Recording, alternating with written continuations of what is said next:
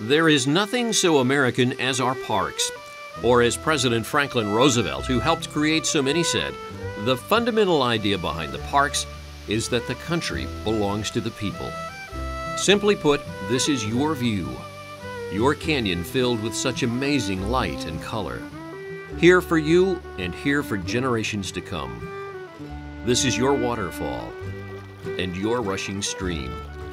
This is your horse trail, your historic town. It is where your children can learn about their roots. This stone bridge, these rustic cabins, this legacy is all yours.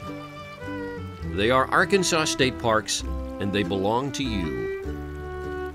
Today, there are 52 state parks across Arkansas, and each year they attract almost 10 million visitors. There are over 1,700 campsites, almost 200 cabins, four lodges with 218 guest rooms, not to mention over 300 miles of trails, swimming pools, golf courses, museums, 183 historic structures, and six National Historic Landmarks, and so much more. And there are activities, from the adrenaline pumping action of a mountain stream to the serene moments of trout fishing, from campfires to cycling. The opportunities offered are boundless. To these Arkansas parks come adventurers and families and school children. And it all began with an idea that one great place should be shared. The whole concept of park was unknown. It was an American concept. It was less than 30 years old. And so they, they, it was a job, they were building something, but what's a park? I mean, that's hard for us to understand, but in the 1930s, the, the whole idea was brand new. The idea of parks, national and state parks, was the grand idea of a new century. In 1916, the National Park Service was created by Congress. But nine years earlier in Arkansas, the notion to create a park on Petit Mountain had taken hold. A party of owners and managers of the Fort Smith Lumber Company came to inspect a sawmill, but were inspired by what they found. A mountain of immense beauty. But what made the mountain so beautiful also made logging unprofitable, and so the idea of a park began. Living on the mountain was the lumber company's physician, Dr. T.W. Hardison. Not just the camp doctor, he was a naturalist. By 1921, the company was ready to donate scenic lands for a national park. Hardison went to the director of the new National Park Service with an offer. Stephen Mather, who was the director of the National Park Service, came to visit and he said it's beautiful and it's pretty, but it's not big enough for a national park and, and in his view, not scenic enough. He, he was sort of a Grand Canyon kind of guy. And he says, what you need is a state park system. And uh, nobody really knew what that was. Dr. Hardison took up the challenge, lobbying state lawmakers and the governor, and by 1923, it was agreed Arkansas could have its own park. But it would be 10 years before the parkland began to look like a park. In 1933, at the height of the Great Depression, Franklin Roosevelt became president. He wanted to put unemployed young men to work and establish the Civilian Conservation Corps. It was an army of workers sent to the forest lands, and building parks was one of their goals. On May 18, 1933, Dr. Hardison marks a milestone in his diary. He wrote, S.G. Davies, Morrilton civil engineer here this afternoon talking with me about the park. He thinks he will be made superintendent. He is a good man for the place, and at last it appears that something will be done to make the park accessible. This was the old creek cabin which we're in, which was the headquarters. Uh, this is my grandfather, who was the again the project superintendent. My dad, who was 19 at the time, uh, who's an engineering student. Richard Davies knows a lot about Arkansas state parks. He was State Parks Director for 14 years and since 1990, Executive Director of the Department of Parks and Tourism. And it was his grandfather who supervised the building of that first park. He was probably the only engineer in town, and so they needed somebody to build the road up the mountain, and he was hired to do that. And then when the park project started, he was hired to be what was called project superintendent. By summer of 1933, Samuel Davies had a workforce, the CCC Boys. They'd have crews that would go out and uh, find the timber. Then the crews would go out and cut it, and then another crew would go out and pick them up and haul them in. You remember laying any of these rocks in here? I didn't lay these, but I worked on that first pier there. Herman Edgins and Orville Taylor are some of the few CCC boys still alive. They worked for a dollar a day and sent most of the money home. They learned skills and self respect and left us remarkable treasures, each building a tribute to craftsmanship and conservation. You didn't even recognize what they were doing with it, you know. They was building the cabins and all that, but uh, we didn't know what they was going to use it for. I can remember my grandfather saying that they had worried that anybody would ever come, that this was, you know, on top of a mountain in the middle of nowhere. But if you read back into some of the history and some of the things that I remember, a lot of this was about access, was, was trying to get people into the wilderness. Wilderness we had in the 30s, uh, but there, there wasn't much of a way to get to it or enjoy it for recreation. How long did it take you to build one of these? The Lake Pavilion at Devil's Den State Park, another CCC structure that mirrors its natural setting. Devil's Den and Crowley's Ridge were also underway in 1933. Mount Nebo, Buffalo River State Park, and Lake Catherine were soon to follow. The workmanship uh, is something that you can't replicate today. We found that out the hard way. And, and that's why it's lasted so long. They, they used traditional construction methods. Uh, they moved a lot of this stuff by hand. You know, these giant rocks they, they'd put on pipes and 10 guys would pick it up and, and move it. And it was the sort of, uh, I guess, work that lasts forever and it's turned out to be true in a lot of cases. The designs were inspired and meant to last. The boathouse at Petit from the day it was built, looked like it belonged. Through the 40s and the 50s. Even today, the classic look of the original park endures. But time and use was not always kind to parks. Slim funding and staffing from the Second World War through the 50s kept the parks busy but with rough edges. Still, parks were in demand and 10 more were created, from Bull Shoals and Mammoth Spring in the north to Lake Chicot in the southeast and Daisy in the southwest. As parks were built, the visitors followed. Outdoor vacations were in vogue, and campouts and cookouts became a family affair. The visitors also helped spark a new industry tourism. By the late 60s, Arkansas State Parks had 24 parks, and they were popular, but the heavy use also took its toll. The parks were still underfunded but gaining popularity, and more communities wanted them and got them. But more parks cost more money, and Governor Dale Bumpers, taking office in 1971, met the challenge. It was an issue that we had dealt with before, is that everybody loves to build parks and nobody wants to pay to take care of them. Uh, and he put more appropriations into state parks in the early 1970s than had been spent in all the history of state parks put together. But the good works of the 70s were wearing thin in the 90s. With more parks than ever and more visitors, the parks were wearing out. If you look at the history of the state park system, it was a matter of, of good times and then some hard times, and there was never a permanent source of funding for an agency that was in the forever business. The answer to a chronic funding crisis in wear and tear was a grassroots effort for a 1 8 cent conservation tax. Supported by Governor Mike Huckabee and passed by voters in 1996, it was money dedicated to state parks and to the other conservation agencies. I think it's going to be diverse uh, with a spray pad. More than a decade later, the results of Amendment 75 are statewide. We have completed over $100 million of improvements, repairs, and renovations to the state park system, but there's another 200 million left to go. So uh, we're not going to run out of work. Nothing could be further from the minds of these visitors than budgets, bricks, and mortar. Follow me. This is about a journey of discovery. A bird flies by, and did you see one? Jay Schneider is part of an 80 plus interpretive staff working in Arkansas State Parks. And this group of fifth graders has entered his classroom. The Carolina chickadee is found in Arkansas. It's really fun connecting with the kids and forging that emotional connection with them. It's really easy for me when nature cooperates as it, as it did with that red-tailed hawk calling or the, the uh, Carolina chickadee calling and they can really see it firsthand. Arkansas State Parks is a real partner to education. Here in our parks, we provide an outdoor and hands-on experience about nature and history that follows the school's curriculum-based programs. For 75 years and counting, these trails at Devil's Den State Park have been taking young people along this trail of discovery. I want to come back to the state park because we didn't get to do everything, but it was a really fun experience and I'd like to do it again.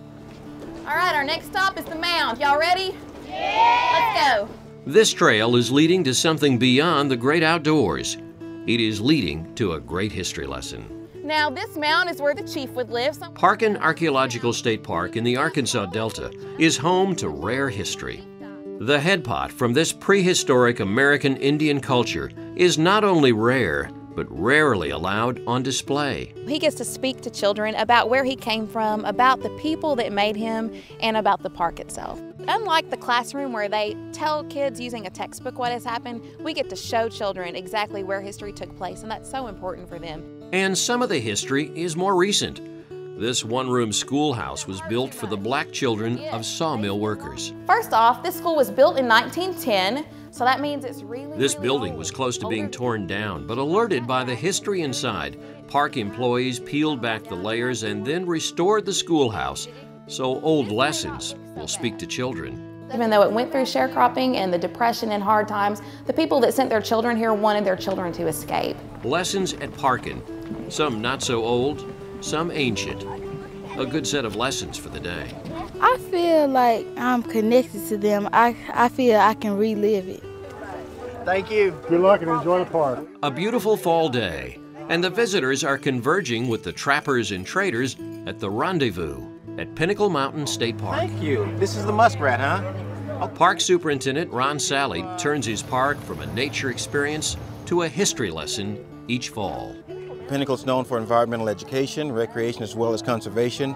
And so anytime we can connect uh, a block of study in school, whether it's historical or civic, uh, to something that the children can actually come out and put their hands on and see with their own eyes, I think it's an important connection. And you had to ram it really good to pack that powder and bullet down. You don't want History moves along to another park experience, historic Washington State Park. We're preserving one of the oldest towns in the state of Arkansas. Been here incorporated and still a living town today since 1824. They're finding out things about their own state and their own backyard that they didn't ever imagine happened here. I hope that they tell their parents that they're very proud to be an Arkansan. It's not just the kids who are searching for a new experience. Young and old seek out Crater of Diamonds State Park, the only place in the world where you can dig for diamonds and keep what you find. So, what do you think about looking for diamonds? It's awesome. It's awesome. Finding a diamond might be hard. Finding a state park interpreter who will be your guide and rock hunting mentor is easy. I get to talk to the people, and I love to watch their faces when they finally understand what it is that you're trying to get across to them, and uh, when you show them how to do it, and you get to just interact with them. So, yes, I really love it.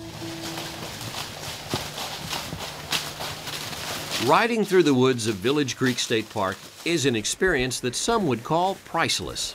A lot of the uh, horse trails in Arkansas are pretty rough and rocky and steep, but we have the advantage in that ours are just rolling, gradual hills and all, all dirt trails and, and very little rocks. So it's easier on the horses, easier on the riders. Through the hardwood forests of beech trees and sugar maples, riders are discovering a new way to experience Arkansas state parks. And the best part is that they have such a good experience, they tell all their friends and their friends come. From the time he could walk, he was involved in the park system. After the office was closed, there were a lot of days when an RV would pull up and he'd be out our front door and, and telling those folks, you can park over here and you can register in the morning and the price is this much. So, you know, it's just, I, I think, in his blood. The people who work at Arkansas state parks will tell you that this job gets in your blood, but in this case, it truly does. Josh Gossage, now a state park ranger at Lake Catherine State Park, grew up in a park, Lake Fort Smith, where his father is superintendent. And I saw how people appreciated the way he treated them, and that's something that, that's a lot of what shaped how I am. You want to treat everybody that comes into your park as family and friends. And that's pretty easy to do. You want to share with them what you have and uh, let them go out and tell everybody else what, what it is we are at state parks. Ron Gossage has plenty to share. His old park closed in 2003, but now it's remade in a new site with new facilities. I'm especially excited and pleased with the architecture and, and the rock work. I mean, this emulates what was built uh, by the WPA in the 1930s. So This is the future of Arkansas State Parks. Here in the Boston Mountains, alongside a mountain lake, a new state park has taken shape. And State Parks Director Greg Butts is proud of what he sees. It's connecting the past to the present and it's going to move us into the future. These are great parks. Uh, they do so much for the economy. They preserve our heritage and they're all about making that emotional, intellectual connection between what's important in life. And now today, Lake Fort Smith State Park is complete, connecting people to experiences that will become their family memories. We are having hamburgers and hot dogs and There's a new campground, lakefront pavilion, and picnic sites. And most important, park experiences that are priceless. In East Arkansas, in the St. Francis National Forest, the winds of progress are ushering in the new Mississippi River State Park. Like Mount Magazine, a partnership with the USDA Forest Service. Campgrounds and other facilities paid for with Conservation Fund money add to the National Forest. Other new experiences are here for Arkansas State Park visitors. A new golf course in East Arkansas at Village Creek, and an updated course at DeGray Lake Resort State Park. This kind of work is possible because of the public support for conservation funding.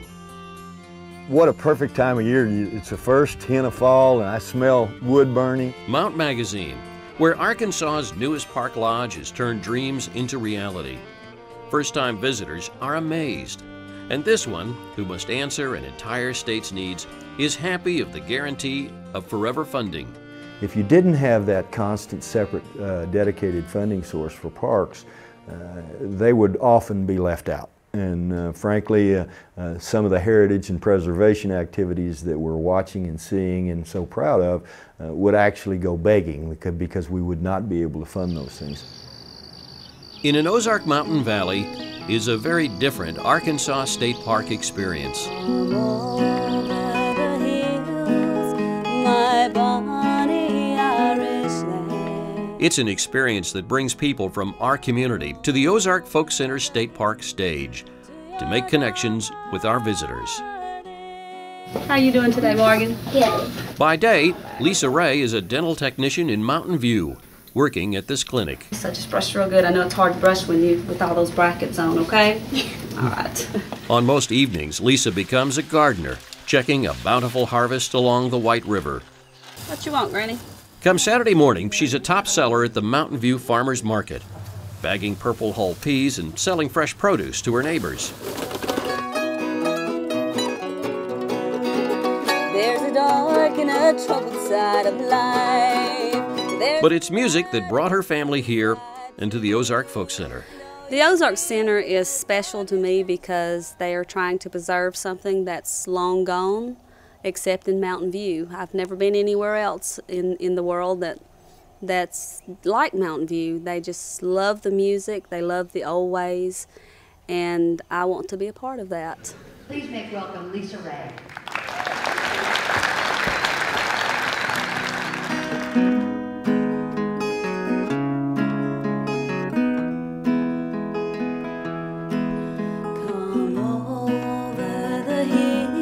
Music in Mountain View reaches far beyond the park that was created to celebrate and preserve it.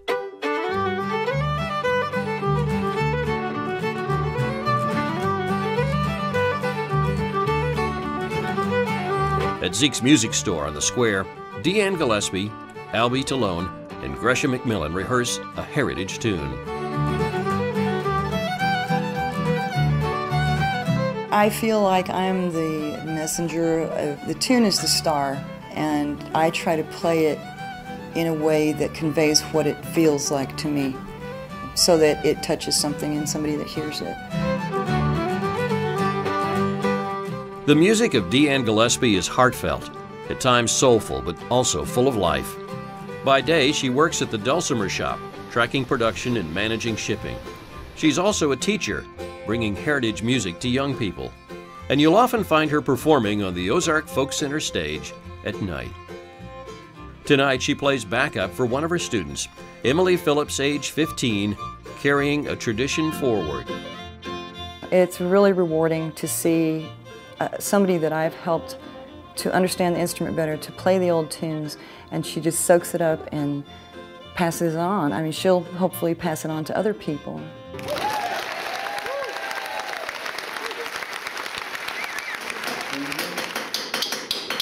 There's something else they pass on at the Ozark Folk Center. We call them heritage crafts. The old timers called them survival skills. No matter the name, the Ozark Folk Center preserves them and passes them on at folk schools.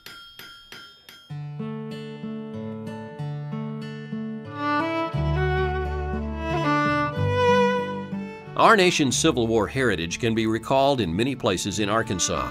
One of them, Prairie Grove Battlefield, is a state park where a landscape is preserved and where trails now set the stage for visitors besides the markers of history.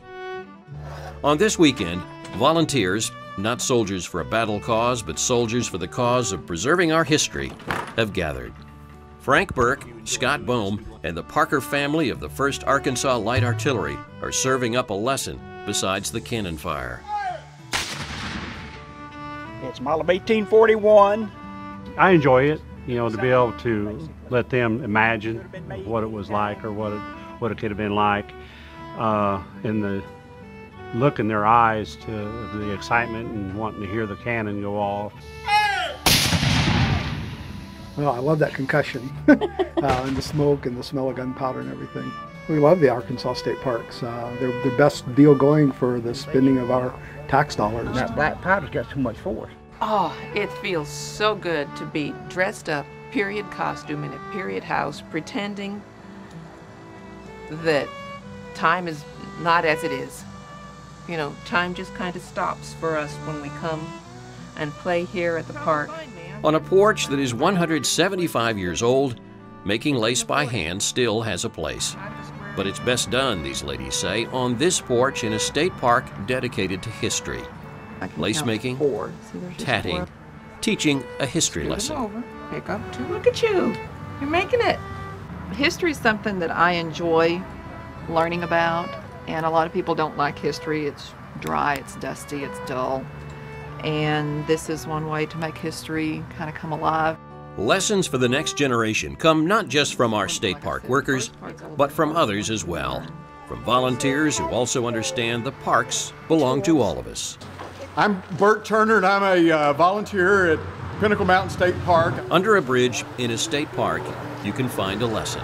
And then once I've got the stuff in the water, Bert Turner and two other volunteers are leading a 4 H club through a session on stream biology with Pinnacle Mountain Park interpreter Susan Staffeld.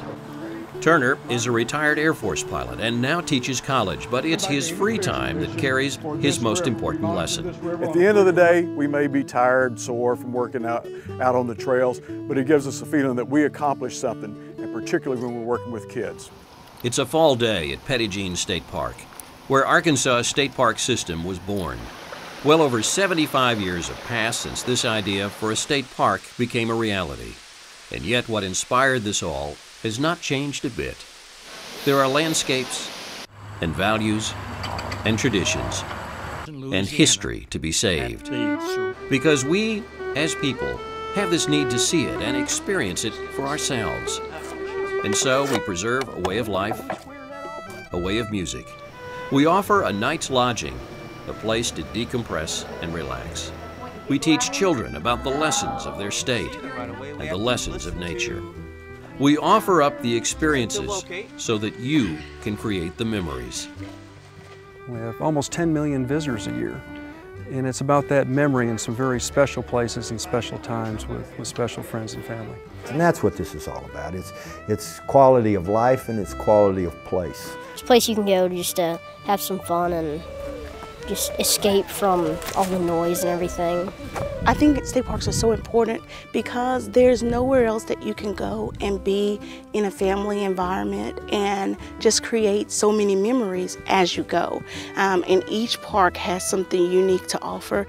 We need places like state parks where the families can come together and have uh, experiences that will make memories for a lifetime. I think we need state parks to remind us where we came from, how we got to where we are, and what's still important to us outside our daily routines. And to me, it's terribly important for people to appreciate and understand what makes us a wonderful state. And in my opinion, these parks are, are a great part of that.